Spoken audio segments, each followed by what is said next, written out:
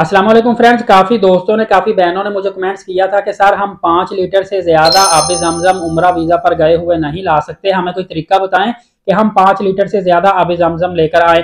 तो मैं कहता हूँ, आप जितना चाहे आब जमजम लेकर आए, आप पच्चीस लीटर, पचास लीटर लेकर आए, लेकिन मेरे तरीके को फॉलो करोगे तो फिर आप लेकर आ सकते हैं। आपको सिर्फ़ मैं तरीका बताने लगा हूँ, उसको अच्छे तरीके से फॉलो करना है। आपको कोई नहीं पूछेगा एयरपोर्ट पे भी। असल में रूल ये है कि आप हैंड कैरी सिर्फ़ पाँच लीटर तक आप जमजम लेकर आ सकते हैं। अपने लगेज में आप जितना भी आप जमजम या पानी लेकर आए, आपको कोई नहीं पूछता।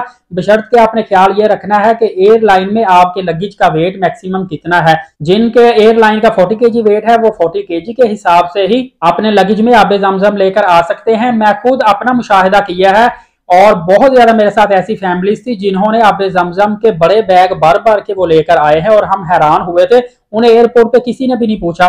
सिर्फ़ क्या किया था उन्होंने कि प्रॉपर तौर पर मजबूती से बोतलों में आबे जमजम डालकर उसको बंद किया गया था। फिर उसके ऊपर उन्होंने टेप अच्छे तरीके से चढ़ाई थी ताकि ढक्कन ढीला भी ना हो। फिर उसके ऊपर उन्होंने डबल डबल छापर लगाकर उसको अच्छी तरह से नोट किया था।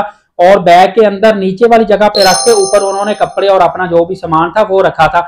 इस तरीके से आप भी जितना चाहें आब जमजम लेकर आ सकते हैं। यकीन कीजिए, आपको कोई भी नहीं पूछेगा। मजीद आप मेरे भाई बहनों तक ये वीडियो लाजमी शेयर कर दीजिएगा, क्योंकि जिनको लगता है कि हम पाँच लीटर से ज़्यादा आब जमजम नहीं लेकर आ सकते, उनकी कन्फ्यूज़न दूर हो जाए और वो ज़्यादा से ज़्यादा आब जमजम लेकर आ सके। लीड साकिब यूट्यूब चैनल को सब्सक्राइब करना मत भूलिएगा। बहुत शुक्रिया। अल्लाह हाफिज।